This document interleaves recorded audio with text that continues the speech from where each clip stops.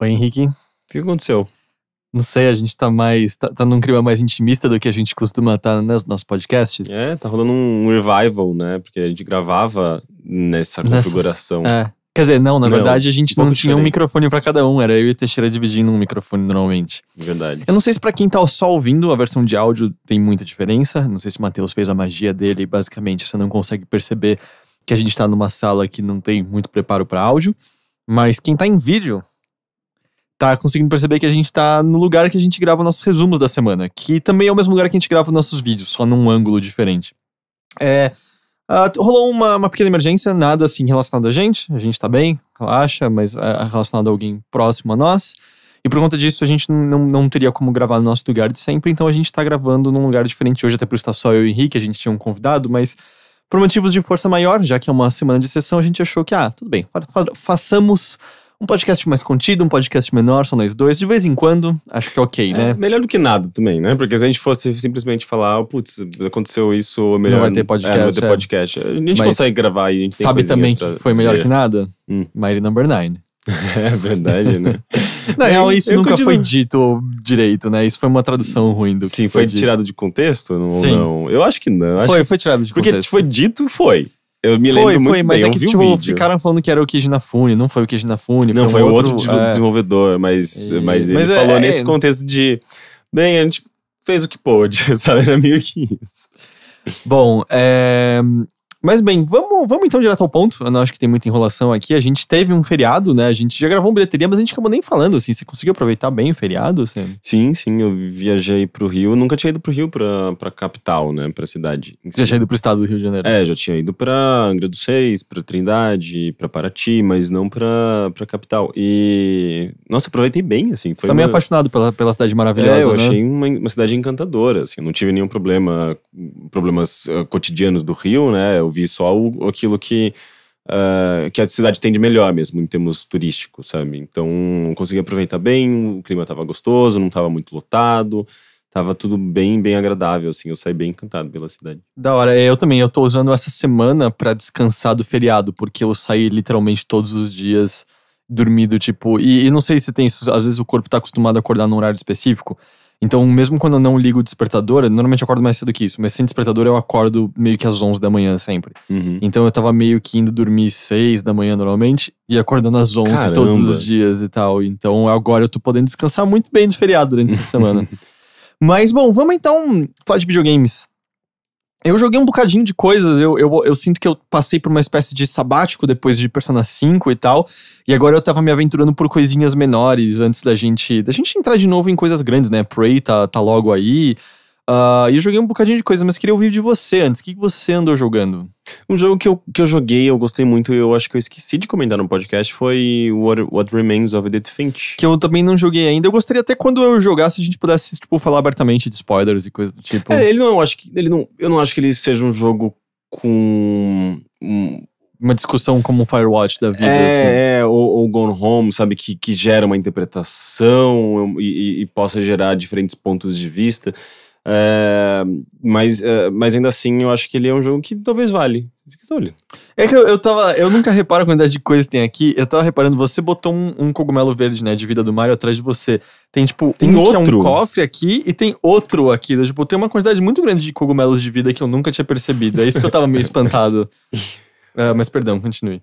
Uh, então eu não sei se existe. Se, se uma discussão com spoilers, digamos, uh, acaba se beneficiando, assim, do. Uh, o jogo acaba sendo beneficiado com isso, mas tem coisas ali muito legais que uh, são, são bacanas de, de, se comentar. Por exemplo, os minigames específicos. Minigames, né? as histórias específicas de cada personagem. porque Uh, se a gente deixa de falar sobre elas, né, com medo de revelar mais detalhes do, do jogo, a gente acaba não podendo mostrar, uh, eu acho que celebrar o quão incrível essas histórias são em termos de gameplay mesmo, assim, como o jogo traduz uh, muitas dessas histórias desses personagens Uh, em termos de mecânicas e o que você faz no jogo. Porque, de certa forma, ele, ele é um walking simulator, como não as é, não é dizem. desafio, você só meio que é, anda, basicamente. Uh, mas ele não. Ele não, não, não, não é o tempo todo uh, um jogo de andar em primeira pessoa. Ele, ele te coloca para fazer outras coisas também, sabe? Tem uma sequência que eu acho maravilhosa, assim, é uma das coisas mais poéticas que eu vi recentemente em videogames e, e que se converte muito bem no que você faz no jogo. Uh, que você tá balançando, na verdade. Você controla os pés do, do personagem nesse balanço. E você percebe que os, os direcionais que você utiliza para andar e olhar, mover a câmera, né? Mover o seu, seu, seu, seu ponto de vista quando você está jogando normalmente, ali eles estão controlando cada pé, cada, cada perna, né? Do, do, do, do, personagem que está balançando. E você acaba entendendo que, ah, eu quero balançar cada vez mais alto. E o texto que vai sendo narrado vai te guiando para isso. É, e tudo isso vai convergindo para um momento muito, um, muito encantadora, sabe? Tipo, porque você tá fazendo uma coisa que está sendo narrada, não necessariamente como em, em qual aquele, aquele jogo que o narrador narra o que você faz? O, o Bastion. Bastion. Não vai, é nesse vai falando ponto... rapidinho que eu vou estar tá ouvindo você, só preciso ver uma coisa. Mas vai falando. Ok. É, não é no, sentido de Bastion, mas uh, uh, ele tem essa coisa de, de do texto uh, ter um impacto muito grande no que você está fazendo e na, na ação como um todo. É um jogo muito, muito inteligente, eu acho, em termos de narrativa. E, eu acho que nesse sentido acho que seria legal, sabe, de você jogar, a gente poder discutir especificamente dessas pequenas histórias, Sim. sabe? Eu fui ver que o Windows 10 estava querendo reiniciar sozinho, sem Nossa, tipo, pelo amor de Deus. É agora ou daqui a pouco? Eu Esse é- detesto. É, eu também. É, ele, ele não tá nem aí pro que você tá não. fazendo, ele interrompe às vezes o seu jogo. Estamos reiniciando seu Sim. computador agora. E aí eu tava só indo garantir que ele não ia fazer isso, porque a gente tá gravando vídeo no computador. Lembra, a gente perdeu um shuffle de Gravity Rush por conta disso. Literalmente nos últimos 30 segundos o computador reiniciou sozinho de uma atualização Sim. do Windows 10. Um... Mas perdão, é, então eu, eu, eu, sinto isso. Quando eu digo falar abertamente, não é só falar do, tipo, de história, às vezes é porque é até uma experiência curta e tal. E a gente não tem tanta oportunidade de jogar as mesmas coisas e falar dessa maneira. E, e aí eu acho legal. E nem todos os jogos tem coisas a serem ditas dessa forma, uhum. certo? É. É, é, o que eu acho legal do, do Edith Finch uh, é que ele, ele tem uma diversidade interessante de personagens. Uh, de ele não ele, ele não tem nenhuma, nenhuma proposta de fazer comentários sociais, mas ao mesmo tempo ele tem um personagem, por exemplo, que você tem algumas opções dentro da história dele e você pode ou não uh, meio que o jogo sugere que aquela escolha vai determinar se o personagem tem é, alguma. Se ele, se, ele é, se ele é gay ou se ele é hétero, basicamente, uhum. sabe? Então você tá dizendo que é uma escolha, na verdade. Não, mas ali é uma construção do personagem, sei, tô, de como eu, você vê aquele personagem. Foi um xiste. foi, foi um xiste. Então, uh, eu acho legal, assim, como essa diversidade na maneira como ele explora esses personagens, diferentes perspectivas, é, muda até tipo um pouco da, da, da, própria experiência que você tá tendo ali naquele momento. Cara, é um jogo muito bonito. Uh, só acho que recapitulando um pouco da história para quem não jogou, você é uma garota que está visitando uma casa que foi herdada uh, é, para você. E quando você chega lá, no começo desse jogo, eu acho que a primeira vez que você aperta Start e vê o diário dela, você vê que tem uma árvore genealógica e você vê que todas as pessoas dessa árvore genealógica, incluindo seus irmãos e seus pais, já morreram. Uh, porque tá, está, está marcado ali a data de nascimento e morte desses E não é uma que vai assim para séculos e séculos atrás, é meio que um século, um século mais ou menos. É. E, e daí você vai entendendo que essa casa, ela meio que, meio que reúne todas essas histórias nos quartos dessas pessoas que passaram por essa casa. Todo mundo que morou naquela casa tem um quarto que foi selado por uma razão, e, e, conforme você vai conseguindo adentrar esses quartos, você tem acesso a, digamos, uma espécie de registro num altar. Tem, eles têm uma, uma, uma religião, uma, uma relação uh, bastante peculiar com a morte e com memórias. Então, a partir desses, desses, desses registros, você tem é, um, um pequeno trecho de jogo no qual você incorpora, você incorpora esse personagem é, que morava naquele quarto, que morava, né? Que, que era. Habitava aquele é, quarto. É, habitava aquele quarto. E, e você joga exatamente no momento da morte desse personagem, para você ver qual era a relação dele com a vida e, e com a morte, porque tem, é sempre sobre essa dualidade de vida e morte. Né? E é legal porque também que os quando quartos... você, você explora a morte de um personagem, está explorando, na verdade, também a vida dele, né? Uhum. Muito do que ele deixou, de como ele era, da personalidade. E, então, e os quartos são importantes nisso, né? Porque uhum. eles são quase representações da personalidade ou de um traço marcante que foi imposto à vida daquelas pessoas, né? Sim. É, e aí isso também é, reconta um pouquinho da, do, de quem aquele personagem era, né? O que tipos de objetos estão espalhados, quais eram os interesses, o que, que ele lia, o que, que ele fazia, o que, que ele achava bonito. E esse jogo ele tem uma coisa que eu acho muito incrível uh, e que eu acho que é pouco explorado tem em videogames, que ele, ele é um jogo sobre contos, na verdade. É. Uh, ele, ele, ele é como se fosse uma compilação de contos de um autor, sabe? E é muito comum isso na literatura, né? Contos, pequenos contos. E você vai lá, compra um livro que tem vários contos do mesmo autor. E a gente raramente vai ver, eu acho que, jogos é, que trabalham dessa maneira. Nesse né? estilo é, porque assim, sabe, você tem coisas como Valiant Hearts, que passa um pouco de história em cada personagem, Odin Sphere, em certa medida, faz isso. Mas ainda tudo é meio que para uma grande árvore. Dá ainda pra dizer que Edith Finch é um pouco sobre isso, né? Todos estão alimentando um pouco a compreensão da, da Edith, né? Ainda assim. É, tem essa narrativa central que une tudo, né? Mas eu acho que mesmo se ela não existisse, esses contos, uh, eles uh, seriam autossuficientes, sabe? Eu acho uhum. que talvez com menos impacto na obra como um todo, mas uh, eles já seriam interessantes, sabe? a história, por exemplo, do, do garoto que ele, ele era muito obcecado por jogos, por não ter, digamos, muita perspectiva de vida. E, e, ele, ele acaba indo trabalhar numa, numa fábrica de salmão enlatado, Uh, justamente por, porque a mãe dele via que ele não, não fazia muita coisa da vida dele, ficava em casa jogando videogame. E, e, é muito foda o que você faz nessa história, porque você tem. O, o que você está fazendo ativamente é pegando um salmão de um lado e colocando ele num negócio para que corta a cabeça do salmão para você colocar numa esteira. E é meio que isso que você faz, é como se fosse um minigamezinho. Só que a mente desse personagem continua no videogame. E, e ela meio que vai. A, mente fica num, num pequeno canto da, do, da tela. E, e, você vai meio que jogando a aventura que acontece na mente do personagem enquanto você faz essa atividade completamente. É, braçal não, como se diz? É automática, assim, uhum. aquele tipo de atividade automática que você não precisa usar o cérebro, você tá apertando um botãozinho, basicamente, sabe? E, e essa história, essa, essa, essa aventura dentro da mente dele vai se desenrolando e, e, e ela vai ocupando cada vez mais espaço até você ficar nessa, nessa coisa de o que é a realidade nesse, nessa história, sabe?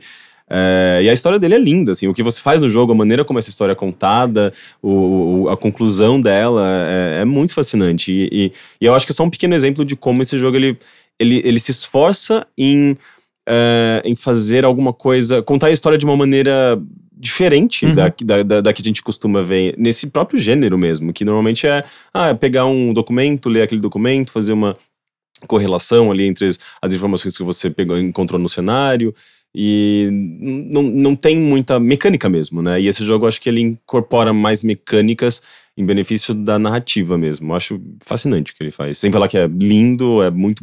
A trilha sonora dele é maravilhosa, assim, é tudo um pacote muito bem realizado. Da hora. É do pessoal que fez o Unfinished Swan, né? É, sim, que é um outro jogo que eu gosto muito. É, ele é legal. E é engraçado, né? Que eu lembro que assim, dentro da era que tinha esses jogos mais artsy, né? Quando a gente ainda só sussurrava Walking Simulator. Hum. O Infinite Swan é um que tem mais mecânicas do que Sim. a média, né? E Sim. ele varia bastante mecanicamente. O Edit Finch que dá um pouco de freada nisso, né? Você consegue equipará-lo mais a um Gone Home da vida, um, um Dear Esther, é isso? É, Dear Esther também, que são os jogos, os jogos eu acho que, que acabaram estabelecendo, assim, esse, esse, esse nicho, né? Estão no cânone, né, dele. Estão no, cânone. no cânone. Porque muita gente já esqueceu dos, Tales of Tales, tipo aquele do cemitério. É, o The Grave, Graveyard. Grave, é, Graveyard. Aque, aquele lá. aquele lá era especialmente um alquíssimo. É, não, né? aquele lá era do tipo. Migo tá parecendo uma paródia de, de algo extremamente artístico, sabe? Do tipo. Ah, eu não eu entendo hum, o valor dele naquela, naquele hum, período. É, aquele lá eu lembro que eu joguei e falei, hum, eu tô com vontade de rir disso aqui. Hum, ah, eu que tá, lá... eu, eu, vou até puxar isso pra um outro jogo que eu joguei ontem, que eu hum. percebi que eu deixei passar e eu descobri ele ontem. Eu sabia que ele estava sendo desenvolvido, mas o lançamento dele foi completamente esquecido por mim. E é um jogo que ele ganhou o prêmio daquele Novo Awards uhum. da, do, do, do GF. E, e, e, ele foi desenvolvido pelo David Kanaga, que é um dos meus compositores favoritos de, videogames. Né? Ele, ele compôs músicas para Dyad, para Proteus, e na verdade o trabalho dele é, enquanto músico, é, é bastante complexo. Ele não vai lá e cria uma melodia e tá pronto. Ele trabalha com a programação, ele trabalha com o programador, ele trabalha com o designer. É, é, esse, todos esses jogos que ele trabalha envolvem a música. A música tá música integrada. é, a música tá integrada à experiência. E que jogo é esse? E, e ele desenvolveu, uh, eu acho que é o primeiro jogo que ele teve uma, uma produção, um papel maior assim, no desenvolvimento. Uh, de resto, são só colaboradores que ajudaram de alguma forma na programação e tudo mais. Eu vou ter que pegar o nome desse jogo. Você não lembra o nome? É um nome esquisitíssimo. Pera, peraí. Ok. Eu posso falando mais de Graveyard, como Não. eu Ah, lembro, eu lembro quando eu mostrei pro meu primo, ele começou a xingar alto, tipo, não, vai se fuder, vai se fuder, isso, isso é uma piada, isso não é um jogo, isso aqui, isso aqui, isso aqui é um absurdo, isso aqui é gratuito, pelo menos acho que era gratuito ou muito É, barato. eu acho que é gratuito. Aí, pelo menos, porque, meu Deus, isso aqui, isso aqui é um crime. E, e eu tinha que concordar com ele, assim, era, era meio ofensivo o Graveyard. Porra, mas ninguém obrigou vocês a jogarem. Não, Ninguém mas tudo obrigou vocês a gostarem. Mas meu ponto é que era muito, cara, não, cê- parece uma paródia aquele negócio, parece muito alguém fingindo, tipo, fazer um negócio artístico. Aquele negócio é muito Ah, ruim. eu acho um pouco de exagero. É, não sei, só não é pior tem- que, que Bientolete. Ele teve. Eu acho que esses jogos eles têm é, importância nos seus momentos.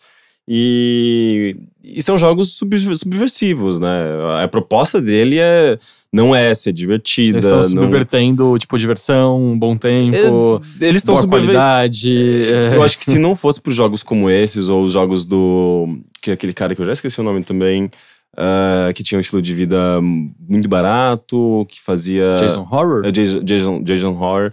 É, se- eu acho que eles abriram um caminho pra que a gente Ah, veja mais todo jogos. mundo desbravando, mas é que o Graveyard eu lembro de ser do, tipo, especialmente, tipo, não, não, gente, gente, não, menos. menos. É, o David Kanaga ele lançou em fevereiro o Oiko Spiel Book One, é, que é é um Spiel?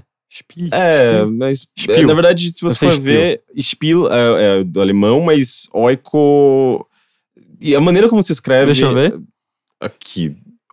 É, um, é um caractere que nem a gente eu nem sei de onde é, mas deve ser grego. Qual é o caractere? Tá? O-I-K-O-S-P-I-L. Aqui. É um. Ah, tá. é, deve- eu acho que deve, deve ser grego. Eu vou chutar que é Oikospiel. É, mas eu acho que é assim que se pronuncia. Pode ser Oi- Oikospiel mesmo também. E... É o livro 1. É, e é um jogo extremamente subversivo também nesse sentido. Ele não é divertido, ele não é claro, ele é extremamente confuso, ele é. É, da- algumas pessoas poderiam vê-lo como Vaporwave, porque ele é muito visuais 3D quebrados, intencionalmente quebrado, é um jogo assim, basicamente indecifrável. É, mas ele tem uma narrativa por trás, ele tem é, uma- uma- um propósito.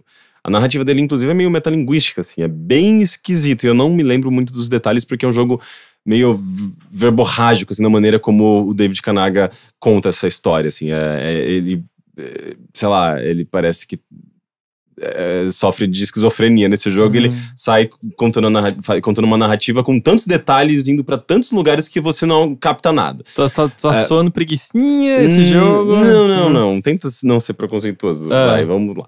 É, Vou me você, esforçar. você come, é, é um jogo sobre o desenvolvimento de um jogo é, que começa em 1999 e ele precisa ser lançado em 2099. Ele leva 100 anos para ser desenvolvido esse jogo. É, e, e- e- Cara, eu, eu acho que eu tô misturando também com um episódio de South Park que eu vi que tinha o Ministério, ministério do- dos Jogos Mobile, mas não tem nada a ver com isso, depois eu falo. Mas enfim, e você trabalha, é, você é meio que um cachorro que trabalha nessa empresa, são cachorros desenvolvendo jogos. Mas é um cachorro antropomorfizado? Não, ou é um cachorro normal.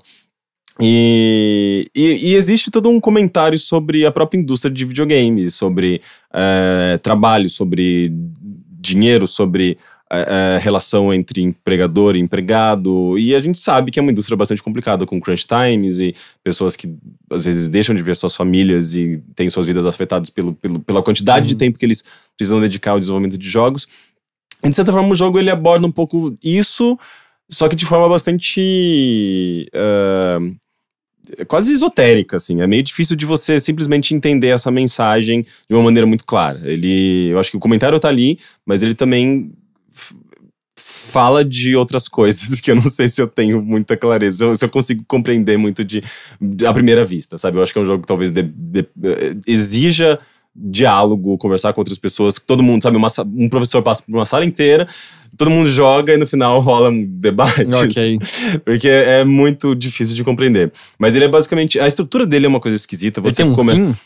Eu não consegui chegar no fim porque eu, tra eu travei Mas no ele meio. tem? Tipo, ele, ele- Sim, sim. Ele tem uma estrutura de atos, é, como se fosse um- uma ópera. Eu acho que, inclusive, é, é um dos subtítulos do jogo. E, é, é, às vezes são um, sequências no qual você controla a câmera e vê só alguma animação. É, às vezes você tem controle, de fato, do personagem em primeira pessoa. E você nunca tá controlando um único personagem, no caso, um cachorro. É, você tá, controla diferentes criaturas, você pode controlar um modelo que simplesmente não tem nem animação, sabe? Ele só é arrastado pela, pelo cenário. A câmera é cheia de efeitos de. eh, de- eh, POV, sabe? Eh, eu acho que é. Óbvio, né? P- Point of view. POV. Point of view. Eh, Point of view, que eu acho que quando, quando- no jogo, quando você pode ajustar eh, pra menos ou pra mais esse valor. Isso é field of view? Não, É não. FOV? É, não, é POV mesmo. Eu acho que é. Quando você é, mexe na, na angulação. Não é a angulação da câmera. É quando você tem mais. é, quando ela. Ah, a câmera ah, tem uma abertura maior, sabe? Pega mais elementos. É Eu se achava que- um peixe de. Eu um- achava que isso era FOV. Não, mas Field of View é, tem, a ver- é, tem mais a ver com aquela. Com aquela distanciamento em neblina, é, o distanciamento que você tem da, da próprio ponto de vista. Se você tá nesse ponto, você só vai enxergar até aquela montanha a 15 metros de distância de você. Porque eu vi justamente hoje o Total Biscuit reclamando que. Prey acho que não tinha nenhum ajuste em relação a isso. E ele tá com enjoos no momento. É, não, então eu acho que é, é é, não é Field of View, eu acho que é POV mesmo. Eu tenho quase certeza. E- Que é justamente esse lance de você ajustar a quantidade de coisas que você pode enxergar no seu campo de vista. Ele né? tava com enjoos por conta do tratamento dele e que não poder mudar isso era meio ele É. vai vomitar se ele jogar. Sim, tem isso e tem o lance, lance também de você poder mexer na, no, no ponto central na Uhum. tela, né? Se você adiciona, geralmente, pessoas Os que têm. de fuga. assim, É, né? pessoas que têm enjoo com jogos em primeira pessoa, se você tem esse pontinho, ele já, pontinho já é, ajuda. da, da mira que não existe necessariamente. Eu já vi. é, tinha algum jogo que recente que tava causando isso nas pessoas. Titanfall 2, eu acho. Titan- Que ele, a, a mira, o pontinho central balançava demais e as Ou pessoas ficavam um pouco era, enjoadas. ou era o Firewatch, talvez mesmo, que as pessoas Hum. queriam um ponto, alguma coisa Ah, assim. é verdade, eu acho que sim. Então, e esse jogo ele brinca com, com essas coisas que eh, pra gente é, geralmente fica, fica enfiado lá no, no, no, no Options, a gente não mexe, sabe? E é meio bizarro, assim, o que ele faz, porque às vezes você tá simplesmente andando por um caminho achando que está indo na direção certa.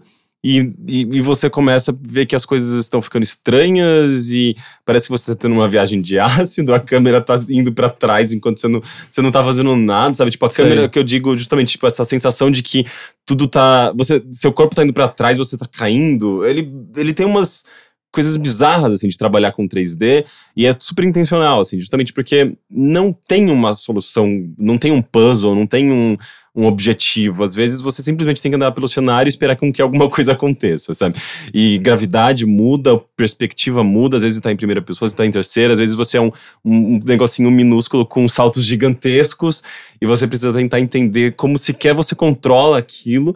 Então, é- ele é muito desagradável, assim, um jogo que tá o tempo todo tirando, é, tirando você do conforto, da sua zona de conforto, de tudo aquilo que você é, é, aprendeu jogando videogames ao longo de todos esses anos. E isso eu acho, eu acho interessante, mas ao mesmo tempo não é divertido, não é pra ser gostoso, não é pra ser uma experiência É pra convencional. mesmo, né? é, é, é totalmente desconfortável jogar aquilo. E não, e não em termos de, de temas que ele, está, que ele tá abordando. Os controles deixam aquela experiência desconfortante, sabe? É, mas eu queria, eu preciso simplesmente continuar jogando, porque eu cheguei num ponto que eu não sabia o que fazer. E eu ficava é, andando deu com o meu personagem. Oi? Olhou a resposta? É, eu poderia simplesmente pular aquela cena e ir pra uma próxima cena. Ele tem meio que um menu que faz isso. É, mas é, eu tava meio, acho que já, já tava jogando por uns 40 minutos, já bastante desa- desconfortável com tudo aquilo e eu parei. Entendi. Mas ele tem coisas bizarras. Tipo, tem, tem uma, uma parte que você entra num desktop, por exemplo, que já é completamente loucão, e tem um, um arquivo. Uh, uh, Celine Dion, My Heart Will Go On. ponto e você clica e, e é basicamente um- uma versão uh, mega bizarra, recortada, estendida da- da- dessa música. E eu fico tentando entender o que, qual é o propósito disso. Não é só engraçado? Só ser Então, eu engraçado? tava achando super engraçado, mas ele é- é, tem tantos elementos assim nesse jogo que eu, eu, eu, eu me, per- me pergunto se existe alguma coisa a ser absorvida daqui ou é só pela piada, sabe? Ou é, é só engraçado. E eu fico em dúvida, eu não sei o que eu penso da, daquela experiência, sabe? É só muito é, é, confuso tudo, sabe? Eu não sei se é pra ser cômico, irônico, crítica, se é pra ser só. se é pra não significar nada. Enfim, é é, eu, eu precisava, eu acho que, dialogar sobre esse jogo com outras Eu pessoas. não tinha ouvido falar desse jogo. Nada, É, nada, nada. É, eu acho que ele só chamou atenção por conta do, do novo award mesmo. Um jogo exper- experimental demais para que as pessoas sequer, eu acho que, demonstrem interesse nele. E o próprio fato, a própria maneira que você compra o jogo me pareceu interessante, porque é um jogo sobre trabalho, sobre repetição, sobre eh, dinheiro. Tanto é que eh, quando você começa o jogo, ele aparece os créditos. eh, e, e é engraçado como o David Kanaga ele faz questão de dizer eh, todos os conteúdos que estão presentes no jogo e a origem desses conteúdos. Então aparece os nomes das pessoas que cederam os modelos em 3D, porque o- Hum, o David Kanaga não entendi. fez tudo. E, e quanto que ele pagou para cada pessoa, aparece os valores, é, como se fosse uma declaração de imposto de rendas. É muito engraçado, assim. é- é- e tá, tem, tá- então acho que condiz com a proposta do jogo, que é justamente falar sobre é, fazer uma crítica também à própria indústria de games e, e essa questão de empregador, empregado, relação de tra- trabalhista, enfim. E, ah, mas como você compra o jogo? É, você entra no site, é, você tem já uma imagem muito bizarra, você tem, tem uma, uma espécie de, de moinho de vento que você percebe que quando você move o mouse, esse moinho gira. E você declara qual é a sua renda anual di- ou diária, semanal, você que escolhe. E de acordo com o dinheiro que você recebe, a sua renda, é, o jogo tem um preço diferente. E, e se você quiser reduzir esse preço, tem que ficar fazendo um moinho de vento girar, girar, porque ele vai meio que contando eh, em, em termos de centavos. Eu não sei, deve ter uma, um- um- uma, uma, uma métrica, métrica não, uma medida ali tipo de, sei lá, 30 giradas é um centavo a menos do valor do jogo. E eu, eu encontrei uma maneira de deixar o jogo muito barato e eu fiquei girando aquele moinho pra ver se eu deixava ele ainda mais barato. E eu falei, nossa, que, que sistema interessante de compra, né? Eu tô, eu tô sacana desse jogo, esse lance tipo de, de valor, preço, trabalho. É, daí eu consegui fazer o jogo custar zero centavos, eu fiquei uma meia hora girando o mouse. Eu me empenhei ali, eu tava sendo tão subversivo quanto o jogo. E daí, na hora que eu cliquei em comprar, ele foi pra tela do Itch.io, no qual o valor mínimo de compra era R$4,95. E eu fiquei, filho de uma puta, Aham. sabe? Eu gastei meia hora à toa. Enquanto eu ficava trabalhando, eu ficava jogando, o, sei lá, Clash, Clash Um Royale. Cara, eu me senti um lixo naquela hora. Eu senti que eu joguei, de, eu joguei eh, Tempo meu fora. tempo fora. É, mas a ideia tava lá de alguma forma e ele me fez me, me envolver com aquilo. Você tentou É, roubar. é, ah, eu- o jogo me permitiu É. fazer isso. Isso porque não era nem o jogo em si, era o, o site de Será? compra. Acho que já é parte Mas do jogo. é, a experiência continua sendo, estando lá, estando lá e o tema em si é um- faz parte do jogo. Então, eu, eu tenho achado interessante, mas é bem esquisito, sim. E- É, é isso? Não sei, talvez tenha mais alguma coisa. Bom, se você não tá lembrando. eu comentei na semana passada do, do Little Nightmares, né? Eu terminei ele, eu Você tá me falando que é um jogo de duas horas. É um jogo muito curto, ele tem duas horas. Ah, sendo que eu peguei todas, quase todas as estátuas, que são, tipo, colecionáveis. Tem estátuas e tem uns bonequinhos que fogem de você no- pelo cenário. Ah, esses bonequinhos são meio difíceis, eu não coletei todos. ah, e as estátuas são um pouco mais tranquilas de você achar, e eu destruí todas elas. E mesmo assim, o jogo terminei com duas horas. É um jogo muito curtinho, assim. E eu acho que ele tem, como eu já tinha falado, né? Ele tem um pouco da vibe de Inside. Mas, diferente de Inside, ele não é tão impactante, sabe? Ele tem momentos muito legais, especialmente as perseguições com as criaturas gigantes. Ele tem cenários muito fascinantes e uma- alguma- algumas coisas meio. Eu não, não sei se assustadoras, mas bizarras, sabe? Ele tem uma, umas sequências muito interessantes. Tem tipo uma. eh, é que eu não sei se é spoiler, tudo é tão pequeno esse jogo Uhum. e é tudo, é tudo, tudo so- sobre a atmosfera e construção de ideias eh, visuais que eu acho que se eu descrevo talvez eu tire um pouco o impacto.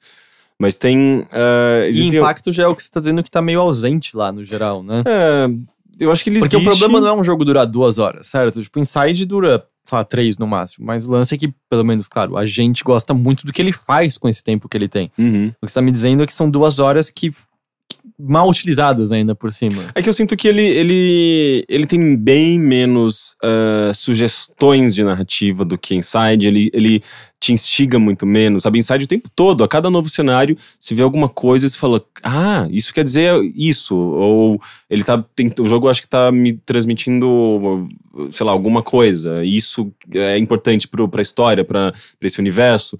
Enquanto que no, no, no, Little Nightmares eu sinto que tem poucos elementos, assim. Ele se preocupa mais em criar algumas situações interessantes em termos de mecânica, de desafio. E de fato eu acho que ele faz isso bem, na maior parte do tempo. Mas é, é tudo meio solto, assim. Não existe uma explicação. E tudo bem, eu acho que eu não tenho, não tenho nenhum problema com jogos subjetivos. Mas ele, ele simplesmente não desenvolve, sabe? Ele. Eu acho que ele.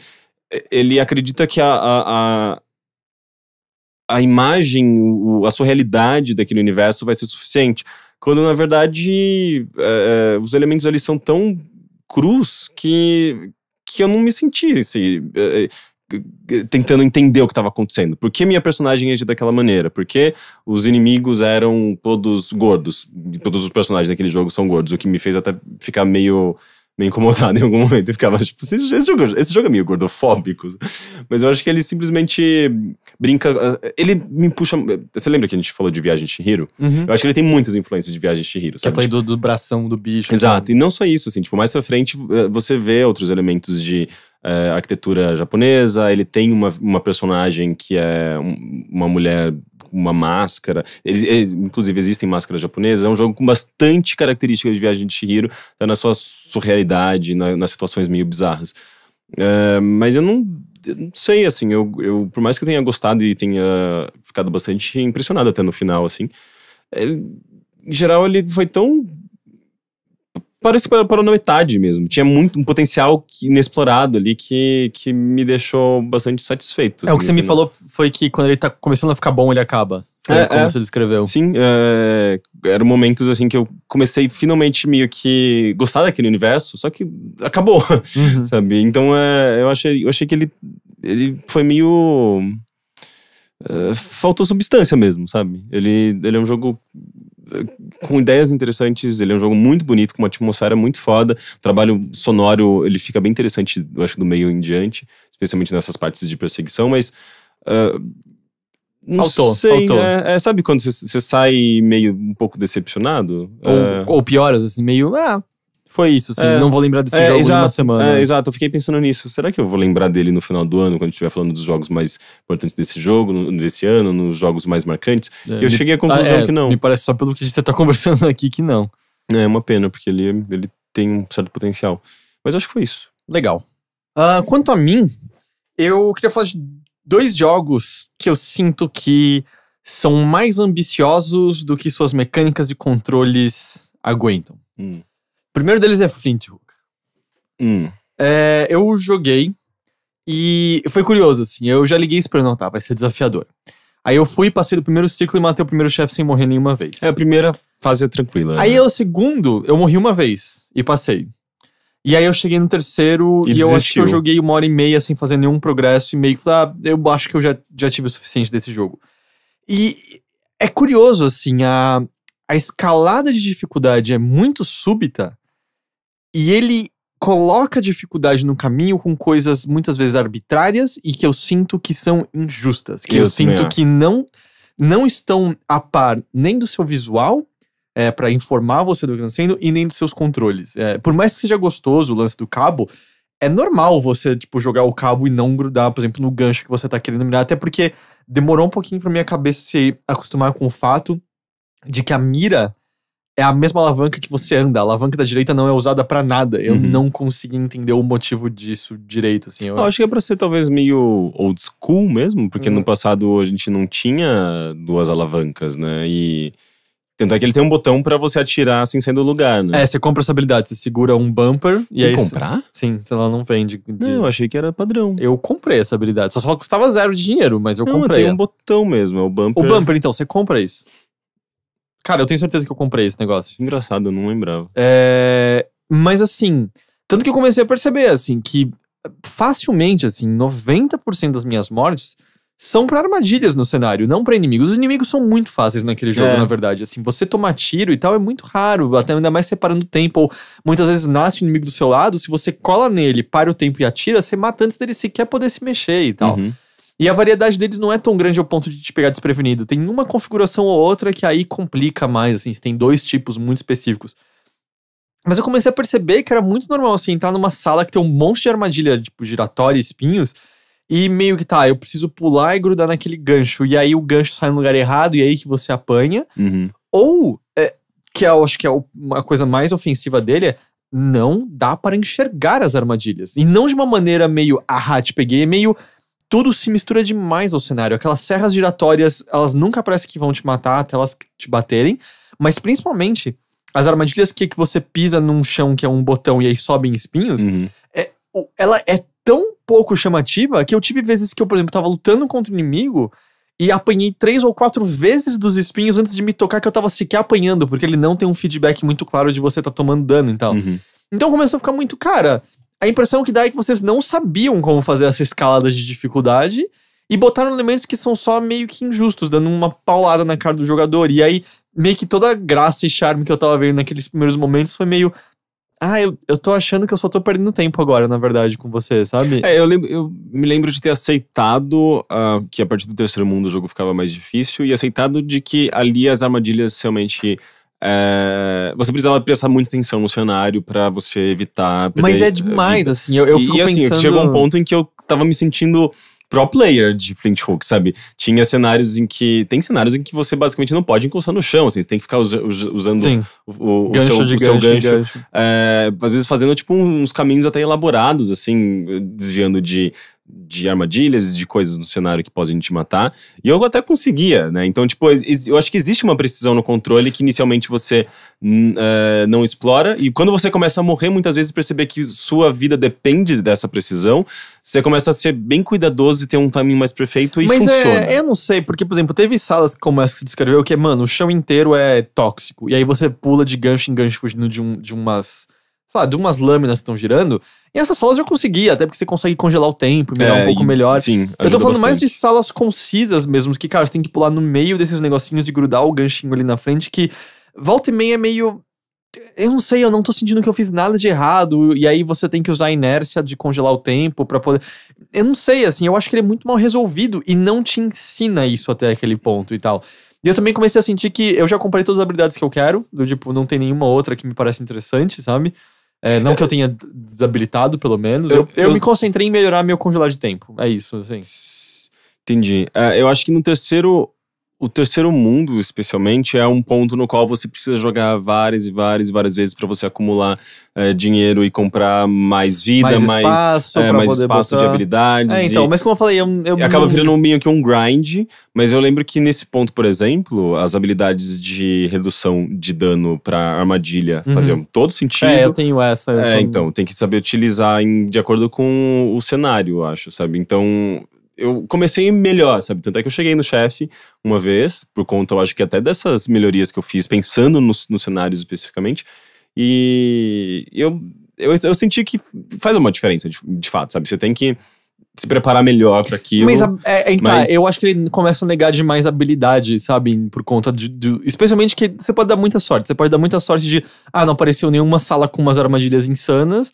E quando de repente, ah, só tem armadilha insana nessa Ah, configuração mas isso é, uma, aleatória. é uma um problema de roguelite. É que, sei lá, eu fico comparando com as armadilhas de hum, Rogue Legacy. Eu nunca senti isso nele. Quando, quando era uma sala de armadilhas insanas, é um bônus. É do tipo, ah, você vai pegar esse baú, você vai pegar essa runa, sei lá. Mas ele tem um pouco disso também. Tanto é que eu, às vezes eu via que era uma sala cheia de armadilhas, eu tinha certeza que ia ter só um baú na frente. Falava, não, vou então, nesse lugar. essas salas são claras, porque você consegue ver no mapinha que Uhum. elas não têm nem saída e tal. Mas é que muitas vezes elas são só caminho de um canto pro Uhum. outro e tal. E eu não sei, assim, eu joguei um pouco e foi meio, ah, eu não sei, eu, eu meio que desencanei dele demais, assim. Eu tava gostando. Ele não, ele não é absurdamente incrível, ele é legal e tal. Mas eu fui, eu fui desencanando meio. Eu acho que falta equilíbrio mesmo, assim. Acho que É. falta, falta, tipo, alguns ajustes ali para E- que e- as próprias mecânicas tenham mais importância, parece. Sim, e mesmo se fosse lá o último mundo do jogo, sabe? Ainda assim é uma dificuldade que não é tão divertida mesmo, sabe? É uma Exato. dificuldade irritante, É, eu frustrante. não tô enxergando esse negócio no chão. E, e, e, além disso, isso é uma outra coisa que acontece, é que você tem salas que você entra e já apanha se você não se mexe. Tipo, isso é muito comum, tipo, o Uhum. inimigo que tá na tua cara já tirando, então você fica. Você começa a ficar ligado a tá, eu preciso entrar e talvez já me mexer. Até porque é é muito comum você é, sair em um lugar e você não perceber onde É. e, e já tá rolando alguma ação e você apanhar. Você tem que se mexer até pra você ver o movimento e falar, ah, eu tô aqui. E então, tipo, às vezes é. Então você começa a acostumar, tá? Eu preciso me mexer, senão vão apanhar direto. Só que aí começa a ter um monte de sala que se você anda um passinho, você já apanha da armadilha. Então você fica, o que, que esse jogo quer de mim exatamente? Uhum. Ou você quer que eu respire, ou você quer que eu não respire. Se você ficar alternando entre um e o outro, eu entendo que alguns podem ver como desafio, pra mim só tá sendo, cara. Não, e de novo, o visual, por mais. É lindo aquele Uhum. jogo. Mas ele não destaca direito as coisas que ele precisa destacar. É, tipo, é muito normal você não É. se- se entender o que cada elemento é no O cenário. contraste é pouco, né? Ele, ele, ele meio que tenta se apegar a algumas paletas de cores específicas, sabe? Agora tons de laranja, agora tons de azul. Mas é, acaba tudo ficando meio parecido, né? Não tem um contraste Tudo muito parece grande. fundo, volta e meia. É. E por isso que parece que a serra não vai te bater, porque ela parece parte do fundo. Aí você apanha dela. Então isso foi, isso foi decepcionante, assim. Eu acho que eu já joguei o que eu vou jogar dele, provavelmente. Não, sem falar que tem umas variações de cenário, porque um, é um roguelite com. é, é, cada fase que você vai, é, você tem modificadores diferentes. Tem alguns que são só horrorosos, assim. Tem um que é um fog, uma, um- umas Uma nuvenzinhas, uma neblina por cima. Que, que, que é horrível, assim. É só um negócio que é muito irritante de jogar, porque você tá vendo o cenário, mas tem um- uns elementos por cima só te atrapalhando, assim. É como se, sei lá, se você estivesse jogando videogame e alguém fica- ficasse passando na sua frente, sabe? Tipo, você não quer ir jogar dessa maneira, é só desagradável, não fica mais... Um, novamente, não é uma dificuldade legal, sabe? Que você Uhum. sente desafiado. É só uma dificuldade injusta e, e desnecessária. É, sabe? eu só pego os que tem, tipo, mais inimigos, porque eu acho, eu acho de boa ter inimigos e Uhum. tal. E aí, ah, eu vou, vou nesse daqui. E é até bom porque você ganha mais modinha, né? Hum. E a outra, outro que eu joguei, eu falta matar o último chefe, eu tô na última fase, mas também que eu senti que é mais ambicioso do que ele pode ser, é o DLC de Shovel Knight, o Spectre of Shadows, que a gente jogou um pouquinho ao vivo. E aí foi curioso, a gente jogou o que? Uma hora, acho que ao vivo, mais ou menos. E eu tava apanhando dos controles, mas você ficou aquilo, não, mas eu acabei de começar, eu tô me acostumando. Eu tô na última fase e eu sinto que o grande desafio do jogo são os controles, no sentido de eu nunca tornei eles ah, uma parte de mim. Eles, eu nunca fiquei natural com eles. Eu tava sempre brigando com eles e morrendo por conta de erros que eu sentia que é, eram fora do meu controle. E assim. ele também tem um gancho, não tem? Não, mas o que acontece é que a mecânica do Spectre Knight funciona em que se tem inimigos ou objetos voando, se você pula e ataca eles de baixo pra cima, você voa na diagonal em direção a ele. E se você tá em cima deles e ataca, você voa na diagonal pra baixo em direção a eles. Que engraçado, você já percebeu que essa é basicamente a mecânica de Aritana Ah, é? Eu e, a, não- e, a pena, e a pena da Arpia, que é um jogo brasileiro, é, é meio que isso, assim, você tem ataques que de acordo com a, a- direção que você ataca o inimigo, você é lançado pra, uma, um lugar, e o jogo vira meio que um puzzle com isso. É, sabe? então, e aí você tem pedaços que justamente você tem que pensar o que você faz com isso, e aí a outra coisa que acontece é que você gruda na parede momentaneamente e pode saltar em direção ao outro lado, e às vezes tem que fazer esse negócio voador de novo e tal. E o que acontece, assim, na aventura em si, fica explícito, mas não, não tão evidente, assim. É, você, o que acontece de você morrer volta e meia porque, ah, eu, eu grudei da maneira que eu não esperava que eu ia grudar, ou eu tava levemente acima do negócio, quando eu achei que eu tava levemente abaixo, eu ataquei de baixo pra cima e isso me levou pro buraco, eu morri. É, isso fica muito explícito num desafio extra, que a gente até fez um pouquinho quando jogou ao vivo, que é escalar uma torre muito longa. Uhum. Eu terminei, mas assim, eu acho que eu acordei vizinhos do quanto eu xinguei pra terminar aquele negócio. Porque nele fica muito evidente do quão pobres os controles são, assim, do quanto ele pede por uma minúcia que, que não tá ali. E eu saí com a mão doendo, doendo mesmo, assim, porque além de tudo, quando você tá grudado, por exemplo, na parede da esquerda, você tem que pular pra direita e aí trocar, ficar segurando pra direita pra grudar naquela parede. Podia ter uma coisinha um pouquinho mais automática naquilo que não, não tem. Mas Além ao disso- mesmo tempo também é um desafio extremamente difícil. A ideia é ser um. É, mas. É, é- é aquela coisa para as pessoas desencanarem e falar, não vou mais fazer É, isso. então, e a recompensa é um lixo. Sério? Absoluto. Absoluto, assim. Uma das piores recompensas que eu já vi, assim, de se ter. Do, tipo, na- não tem nem sequer um troféu, porque o, o único troféu do jogo é pra terminar ele. Hum, que estranho. É, é, pois é, É porque é um DLC também, né? É, não sei se. Mas tem o, o do. Do Plague Knight tinha mais do que isso, eu acho. Hum. Bom. Mas é. Mas eu fiz, assim, e, tipo, saí com a mão doendo, sabe? Tava, tipo, tava só irritante. Eu fui. Sabe quando é só o seu ódio que te propele em frente? Tipo, Ah, mas- filha da puta, eu vou terminar esse negócio. Mas é a força de vontade, é, é determinação. Eu não sei, a minha força de vontade tava sendo não quebrar aquele controle contra a parede, na real. Era você tá me descrevendo, tipo, jogos extremamente difíceis dos anos 90 também, sabe? Eu Tipo, não 2000, sei, eu, eu não tenho isso 80. com jogos normalmente, tipo, dessa raiva nesse nível. Mas é, mas aí você percebe isso na aventura também, volta e meia, de cara, eu, eu só tentei fazer um salto simples, e aí ele grudou quando você achava que ele não ia grudar, ou ele não grudou quando você achava que ele ia grudar, Assassin's Creed. ou você achava que ele- a subidinha pela parede dele, na, na parede ia ser o suficiente pra você chegar no, no- no- na beira, mas aí por um milímetro não era e você caiu. E tanto que a, a primeira coisa que eu fiz assim que eu tive dinheiro foi comprar uma armadura que faz com que você não morra quando você cai em buraco, você volta pro, pra onde você tava. E comprar e usar uma habilidade extra que é que você pode flutuar momentaneamente. E aí, a partir disso, tem salas inteiras que você pula, liga flutuar e você atravessa o desafio sem ter que olhar pra trás, sabe? E, e- só que eu não sentia que, tipo, ah, como eu tô sendo esperto. Eu só sentia, ufa, ainda bem que eu não tenho que fazer esse desafio, sabe? Porque ele não tava me agradando nem um pouco. Então eu saí um pouco desse final. Também achei que a história não foi nada demais, apesar dele dar um certo background para os eventos do Shovel Knight em si. Eu acho que ele não tem o charme nem que a campanha do Shovel Knight, nem que a campanha do Plague Knight tem e tal. Uhum. É, não terminei, como eu falei, tanto que foi curioso, assim, eu cheguei no último chefe, eu tava com sono, e isso foi no dia que a gente fez a transmissão, então faz uma semana essa altura, um pouco mais até. E eu não voltei ele, sabe? Quando você, ah, não sei, não sei se eu quero voltar. É, não, você não, o jogo não te pegou da maneira como os ante- anteriores te Sim. pegaram, né? E, e aí eu sinto justamente isso, assim, os controles precisavam de mais ou os desafios precisavam de menos. Um não tá compatível com o outro, assim. E a última coisa, eu joguei cerca de uma hora, uma hora e meia, foi o Thimbleweed Park. Ah, o jogo point and click ah, desenvolvido pelo Ron Gilbert, né? Que é o cara que é uma das grandes mentes por trás do Maniac Mansion, por trás do primeiro e do segundo Monkey Island. Ele fez o segundo Monkey Island? Fez, ele fez o segundo. The Cave, pff, é, como é que é o nome daquele jogo chato pra The caralho? Baconator. Não, Baconator Não, é, é, não. é, é, é- esse é o subtítulo do jogo. É, É. o. Que o segundo era o Thong of Virtue, não era? Sim. Era o Death Spank. Death Spank. Ah, que jogo ruim do cacete. E ele, e ele também, eu acho que era um dos fundadores da Cave... Cave? Como? Ah, não lembro Não nome. sei o que é isso. Não, da Humongous. Uhum, Da Humongous. Fez, uh, Humongous fez, sei lá, tipo, Put Put, Goes to the Moon. Mas também depois é, essa empresa parece que comprou essa Cave, não sei o que, que fez Total, Anni- Total Annihilation. Hum. Então é, ele tem alguma relação também com esses jogos mais de estratégia. Bom, o Thimbleweed é ele retornando às raízes dele, um point and click é, com verbos ali embaixo, abrir, fechar, conversar, dar, pegar. É, bem assim, na pegada Scum que ele tinha no primeiro Monkey Island e tal. E o, o que eu gosto dele é que ele foi jogo financiado por Kickstarter, eu ajudei a financiar o Kickstarter.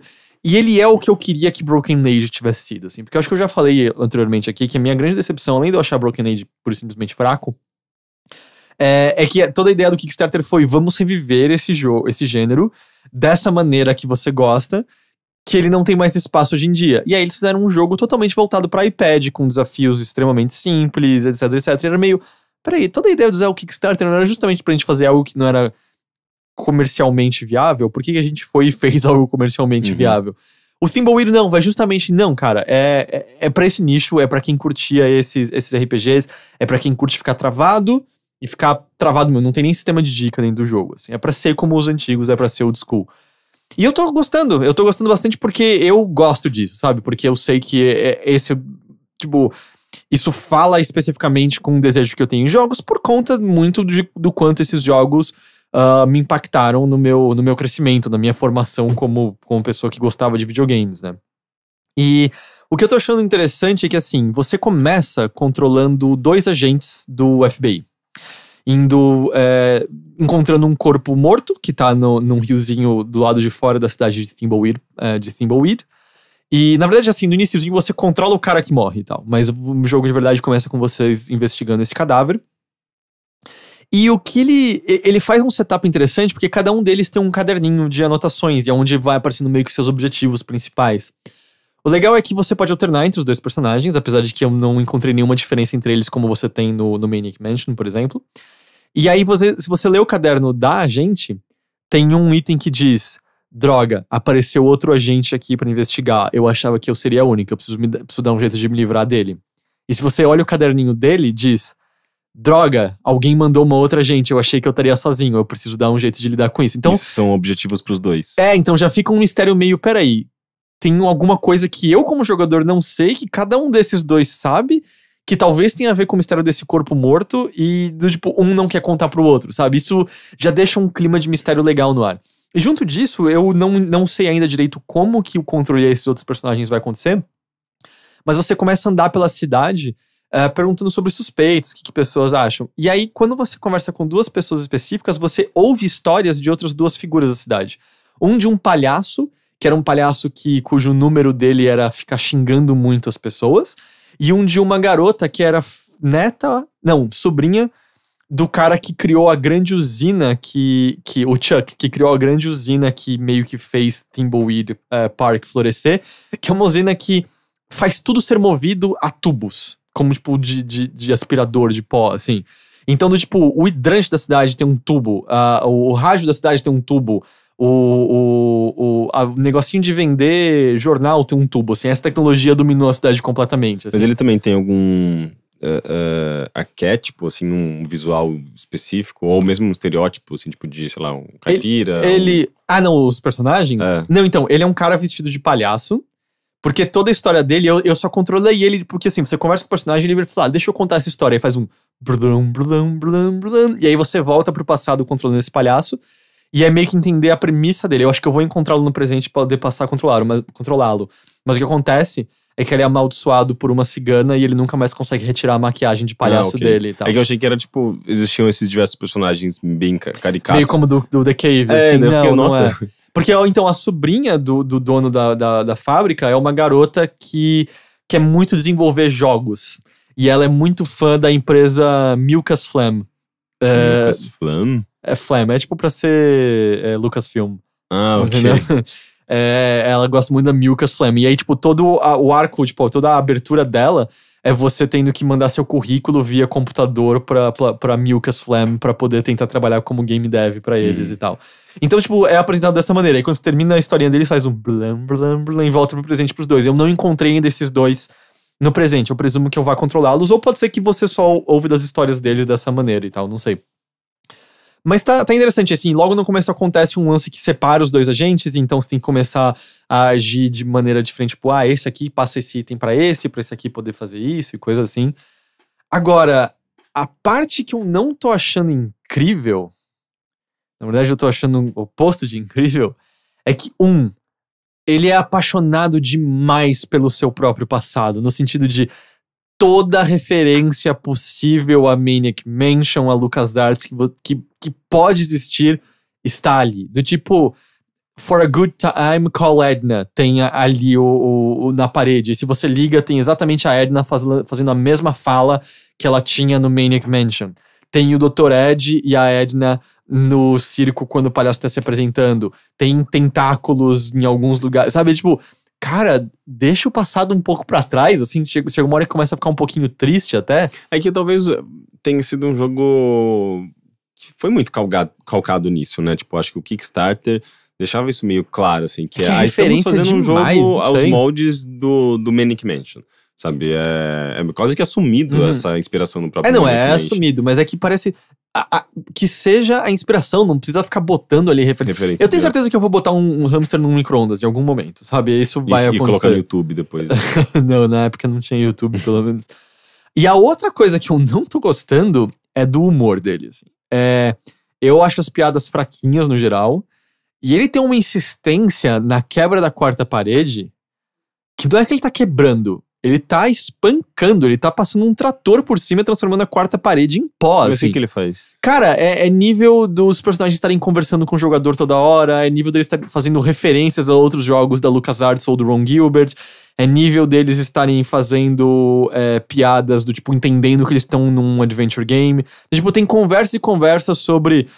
Ah, será que eu posso naquele lugar? E se eu morrer? Aí outro responde e vira: Não, esse não é um adventure como aqueles que a gente tinha até o, é, que a gente tinha até o final dos anos 80. Esse aqui tá mais na vibe da LucasArts, em que você pode fazer o que você quiser, que você nunca vai ficar travado nem nunca morrer. Aí outro, ah, isso é bom game design, não é? E outro, é, a gente percebeu mais ou menos a partir de Monkey Island que não fazia sentido o jogador morrer, que isso não adicionava diversão. Nossa, que Eu juro, comentário. é. que... Ele, tipo, cara, não é engraçado, sabe? É só muito longo. Tipo, tá bom, eu já entendi. Pois é. É, Mas é, parece que tem todo um comentário é, é, é, numa camada acima do jogo, porém dentro do jogo, né? É, só que também, tipo, pra quem esse comentário? Quem que você tá fazendo esse fora? Tipo, pro, pro, pra, pra Roberta Williams? Pro, Pra pro, Jenny pro, Jensen. pro All Low, tá ligado? tipo, quem que vai ouvir isso? Todo mundo tá aposentado, sei lá, essa altura, Uhum. sabe? Tipo, pra quem que é esse comentário? Uhum. É muito estranho, assim, muito estranho. Eu acho que tinha maneiras de fazer essa piada que seriam muito mais inteligentes e tal, sabe? É, que seja fingindo que você morreu por um segundo e voltando assim, ah, não, isso não pode acontecer nesse jogo. Tudo bem que isso já foi feito em jogos da LucasArts também. Inclusive, eu vi um GIF nesses dias que alguém, alguém algum dos perfis de jogos de MS-DOS, assim, que eu, que eu sigo, mas, sei lá, uns perfis meio nostálgicos, eles tweetaram eh, que era um GIF de alguma morte, acho que em, King, em King's Quest 4 ou 5, que a personagem morre de uma maneira meio estúpida, não lembro, e daí a própria, aparece um, um desenho da própria Roberta Williams fazendo um comentário, tipo, não é assim que você tem que jogar, não sei. Eu, eu achei ótimo também, uma quebra de quarta parede, mas de uma maneira engraçada que eu não, Não, esperava. point and clicks tinham quebra de quarta parede, isso era, isso era bem comum. Mas eu acho que, como qualquer forma de humor, é como, não a forma em si, Uhum. sabe? O, o primeiro Monkey Island era engraçado quando você ia no bar e tinha um pirata vendendo Loom pra você. Uhum. É, o, o Ilhas Macacos 3, você encontrava o Grim Fandango morto num bar, como se ele fosse um pirata do LeChuck. Tipo, te- tem maneiras de fazer isso de, de maneira mais divertida e tal. Só que é o tempo todo, tá ligado? Meio, cara. É, banaliza, né? É, demais, demais, demais. Mas eu tô gostando mecanicamente. Eu gosto do point and click, eu gosto de ficar travado, eu gosto de ficar tendo, sei lá, cinco colunas de itens diferentes. Eu gosto de testar os diferentes verbos com as diferentes coisas. Eu acho que a atuação tá divertida, tem um bom número de personagens pra conversar, eu acho a arte legal. Então, nesse sentido, eu tô, eu tô gostando, sabe? Uhum. É, só eu tenho essas reclamações. Eu tô, quero ver se vai sustentar ou se eventualmente eu vou ficar, meu, não, chega, chega, eu não quero mais ouvir isso daqui de jeito nenhum. Mas é isso que eu andei jogando. Vamos então dar uma olhadinha nas notícias? Vamos. Bom, vamos lá. Aconteceu até que um, um bocado de coisas nessa última semana. Ah, algumas atualizações sobre E3. A PC Gaming Show vai retornar esse ano, é o terceiro ano né, que a gente vai ter PC Gaming Show. Só que vai mudar o horário dela. Ela vai acontecer na segunda-feira, às 10 da manhã de Pacific Time, que é o horário que anteriormente pertencia à Microsoft, que agora vai ter sua coletiva no domingo, né? Ela também tá mudando de patrocinador, antes era acho que a AMD, Uhum. e agora é a Intel. Então, tipo, a concorrente chegou ali. Mas a AMD. Não, o então não era AMD. É Nvidia. É, não, não, não era AMD. Qual é a concorrente da Intel? Celeron, sei lá. Não, Celeron. Celeron é um processador É antigo da, é. Intel.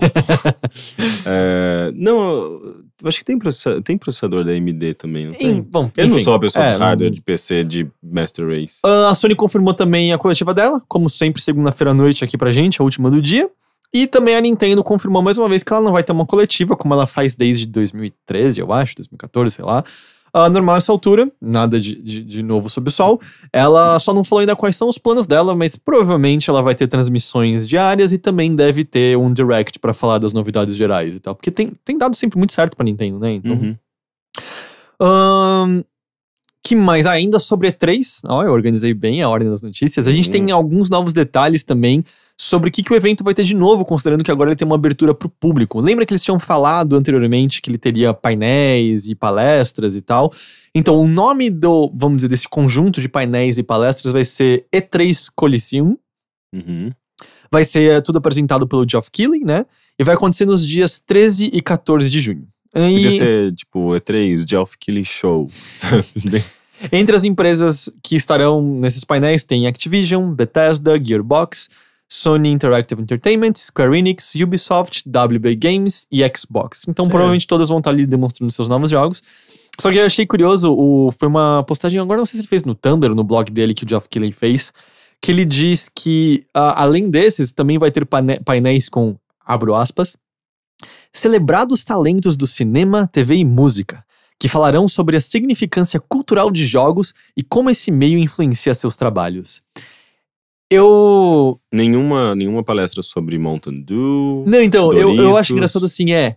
Tem poucas coisas que evidenciam mais a falta de confiança e importância volta e meia mainstream dessa indústria do que o fato de que na maior feira de games, para justificar esses painéis, a gente tem que chamar pessoas de outras indústrias para elas falarem pra gente por que, que a gente é importante, sabe?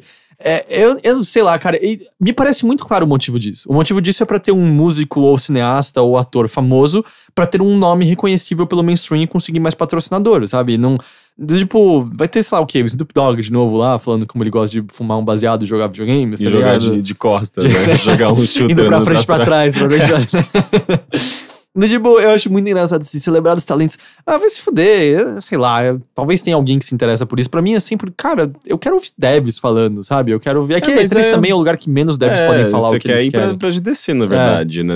Porque a E3 sempre foi sobre é, Mensagem controlada, pirotecnia, é, mainstream, hum, artistas. comparação de e- tamanho de pica. É, é. é uma coisa muito. É, é- é muito dinheiro rolando e, e eles acho que precisam chamar atenção justamente com celebridades. Sim. Elas, ajudam. Que é o que a gente vê no Game Awards e na- na- na- nas encarnações anteriores, né? Tipo, do, do Spike VGA, que é.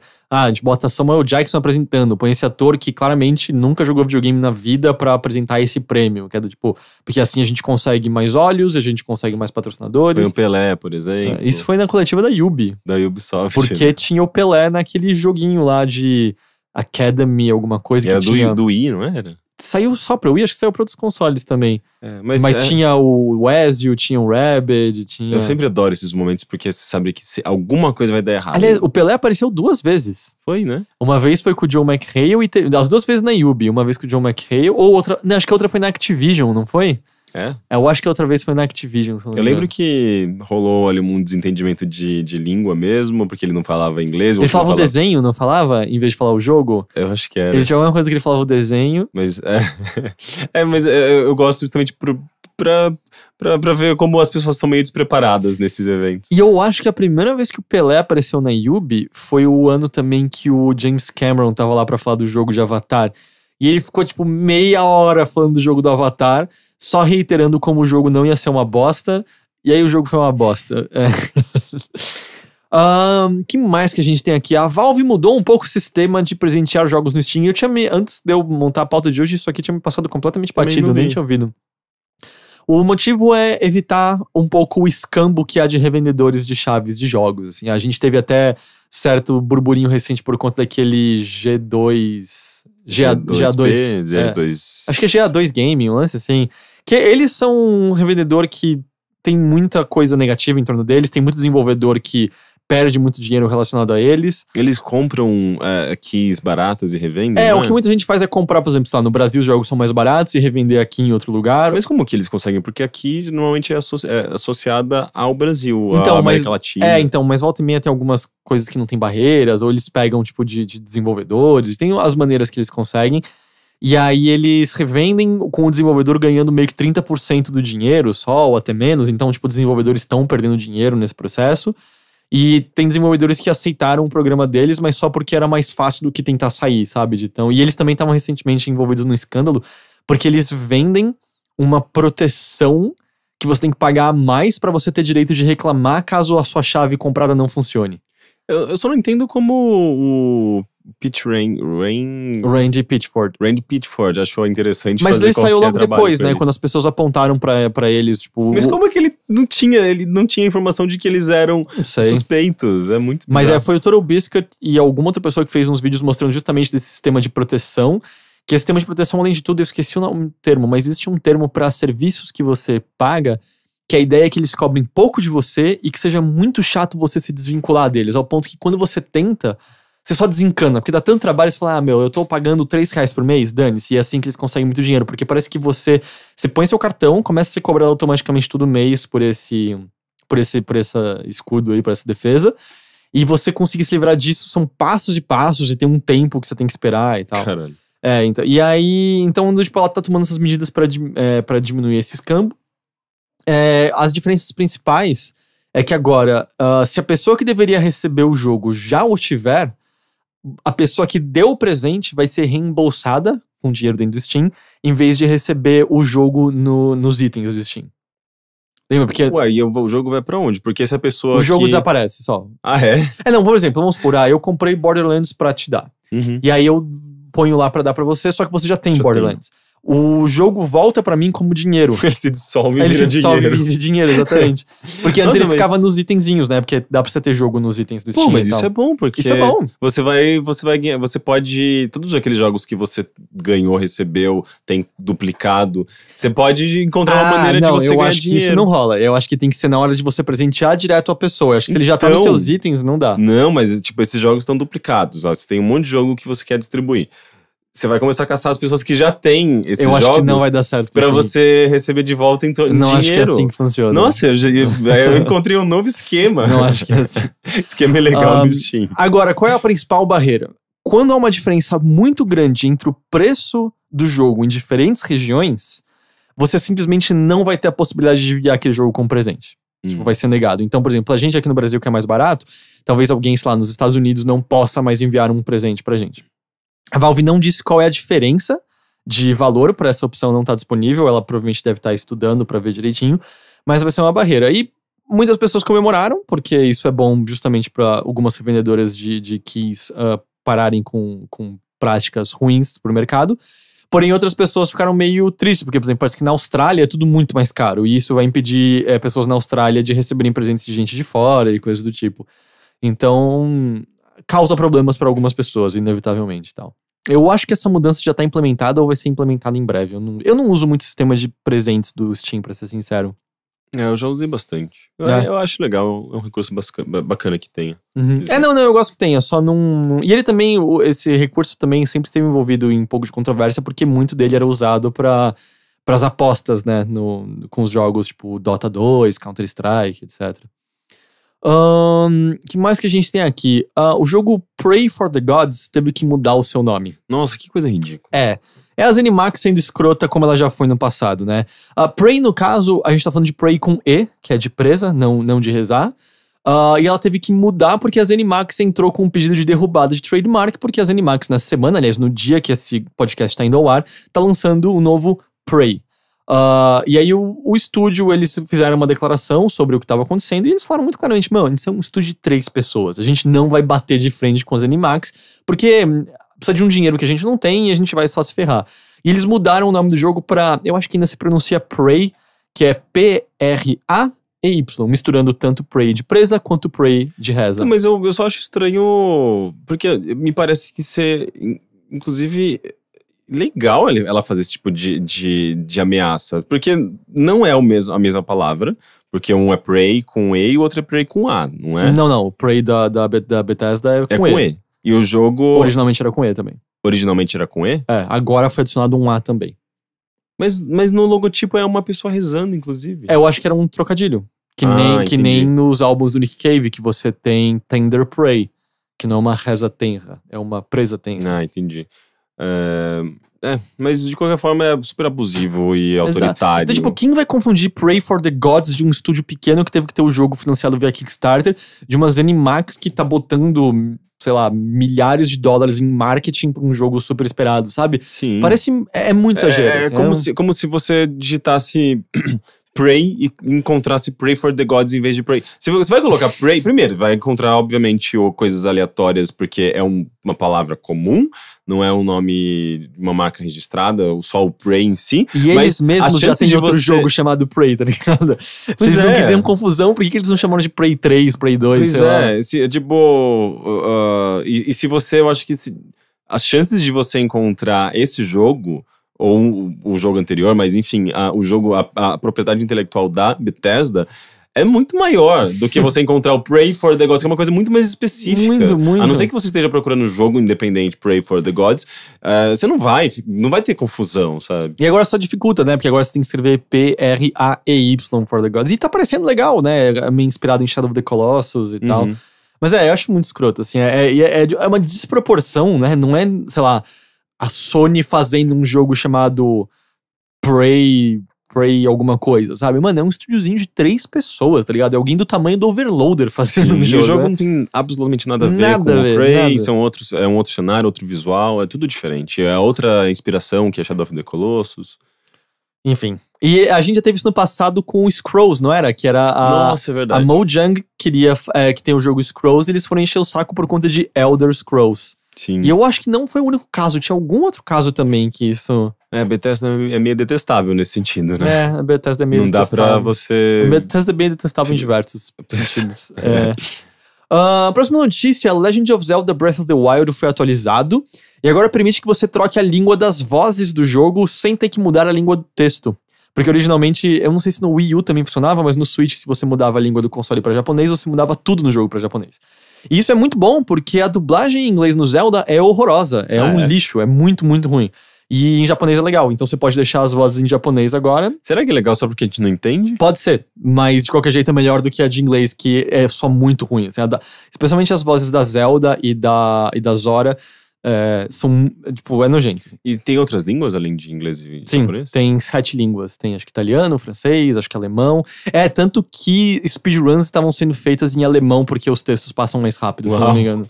que isso acontece, né? Volta e meia, pegar tipo a versão japonesa, porque tem mais caractere no balão e aí você passa mais rápido e tal.